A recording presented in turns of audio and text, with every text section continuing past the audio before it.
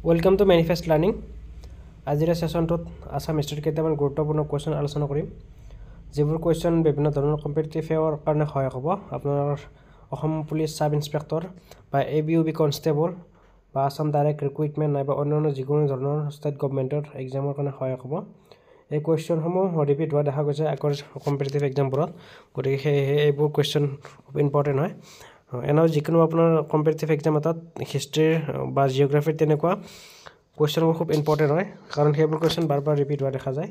গতিকে ইয়াত হিষ্ট্ৰীৰ কুৱেশ্যন কেইটামান আলোচনা কৰিম গতিকে ভিডিঅ'টো আৰম্ভ কৰোঁ বলক আজিৰ প্ৰথম কুৱেশ্যনটো হ'ল দ্য অফ ঘিলাজাৰী ঘাট ৱাজ চাইন ইন ঘিলাজাৰী ঘাটৰ সন্ধি কিমান চনত স্বাক্ষৰিত হৈছিল এইটো সুধিছে।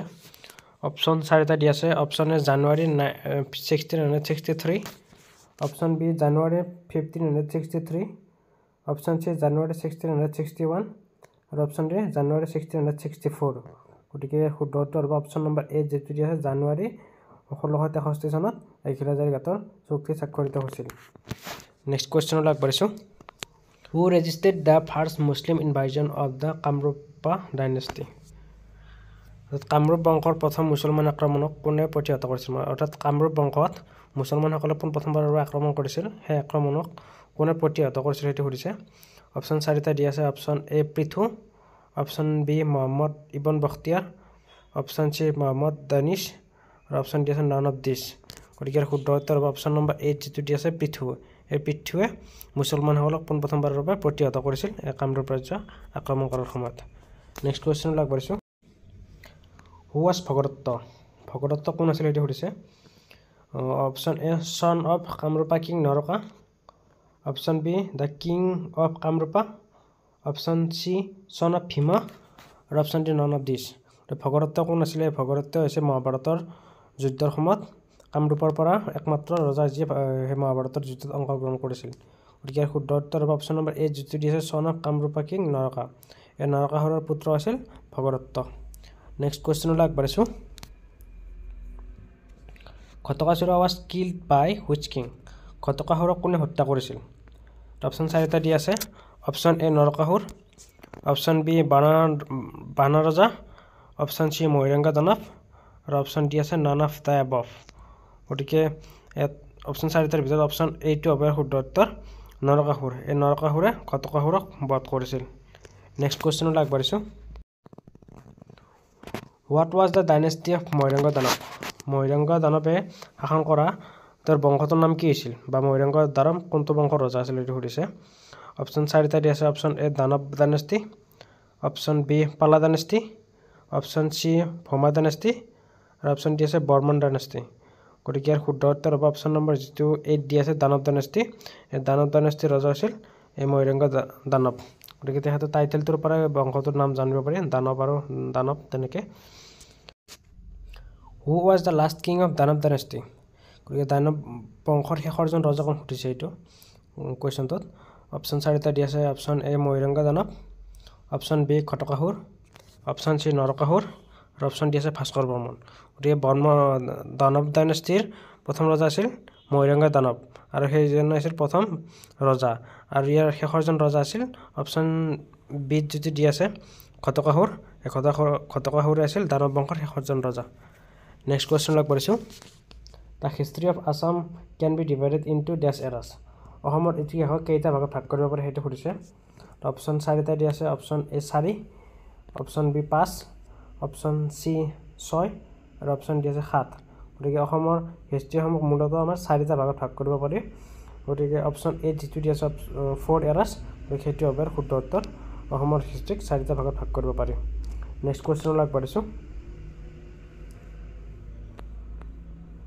দ্য কেপিটেল প্ৰাগজ্যোতিষ ৱাজ প্ৰাগজ্যোতিষৰ ৰাজধানী ক'ত আছিল? অপশ্যন চাৰিটা দি আছে option A Pragjyotisha option B Pragjyotishpur option C Kamarupa আৰু অপশ্যন ডি আছে ৰত্নপীঠ। গতিকে ইয়াৰ শুদ্ধ উত্তৰ হ'ব অপশ্যন নম্বৰ বিত যিটো দি আছে প্ৰাগজ্যোতিষপুৰ। সেইটো হ'ব শুদ্ধ উত্তৰ। প্ৰাগজ্যোতিষৰ ৰাজধানী প্ৰাগজ্যোতিষপুৰ আছিল। নেক্সট কুৱেশ্যনলৈ আগবাঢ়িছোঁ according to Ramayana Amuta Raja was the founder of the kingdom of ৰামায়ণৰ মতে অমুত ৰজাই তেওঁৰ কোনটো ৰাজ্য প্ৰতিষ্ঠাপন কৰিছিল সেইটো সুধিছে। অৰ্থাৎ কোনখন ৰাজ্যৰ প্ৰতিষ্ঠাপক আছিল তেওঁ? অপশ্যন চাৰিটা দি আছে। Option A Pragjyotisha. Option B Kamarupa. Option C Haruppeshwar আৰু অপশ্যন ডি আছে কোচবিহাৰ। গতিকে ইয়াৰ শুদ্ধ উত্তৰ হ'ব অপশ্যন নম্বৰ বি কামৰূপা। এই ৰামায়ণৰ মতে অমৃতৰ যে এই কামৰূপ বংশটো কামৰূপ ৰাজ্যখন প্ৰতিষ্ঠা কৰিছিল বুলি কোৱা হয়। Next the earliest historical dynasty of Assam was date of the অসমৰ প্ৰথম ঐতিহাসিক বংশটোৰ নাম কি? অপশ্যন চাৰিটা আছে option A Pala option B Varmans option C Naraka আৰু অপশ্যন ডি চাৰস্তম্ভছ গতিকে ইয়াৰ শুদ্ধ উত্তৰ option number B Varman dynasty হৈছে বৰ্মন ডাইনেষ্টি হৈছে অসমৰ আটাইতকৈ ঐতিহাসিক আৰু পুৰণি বংশ। Next who wrote Janma Rahasya? By following the request of Kamalapriya the wife of Chilarai এইটো কুৱেশ্যনত আপোনাৰ কুৱেশ্যন আছে এনচাৰো আছে। চিলাৰাৰ পত্নীৰ নাম কি তেনেকৈ ক'ব পাৰে? চিলাৰাৰ পত্নীৰ নাম কমলপ্ৰিয়া। এতিয়া কোনে এই জন্ম ৰহস্যখন ৰচনা কৰিছিল? কমলপ্ৰিয়াৰ অনুৰোধত। অপশ্যন চাৰিটা আছে option A Sankardev option B মাধৱদেৱ অপশ্যন চি দামোদৰ দেৱা আৰু অপশ্যন ডি আছে হৰিদেৱা গতিকে শুদ্ধ উত্তৰ অপশ্যন নম্বৰ বি মাধৱদেৱ এই মাধৱদেৱে জন্ম ৰহস্যখন ৰচনা কৰিছিল চিলাৰাৰ পত্নী কমলপ্ৰিয়াৰ অনুৰোধ মৰ্মে। নেক্সট কুৱেশ্যন আগবাঢ়িছোঁ।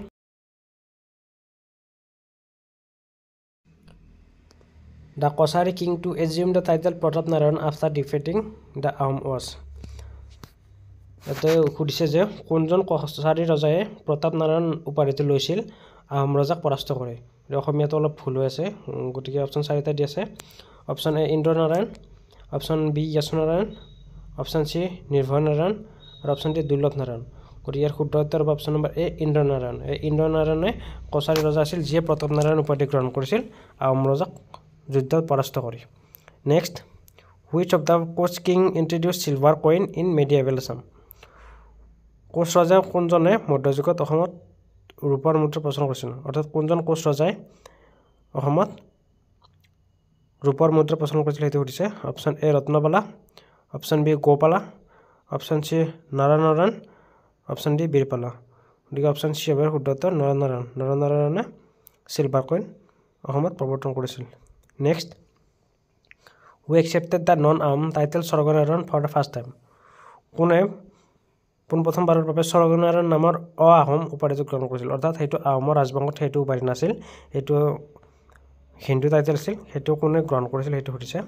Option A Sukaphaa option B চুংমুং option C Susengphaa আৰু option none of the above. গতিকে অপশ্যন বি হ'ব শুদ্ধ উত্তৰ চুংমুং।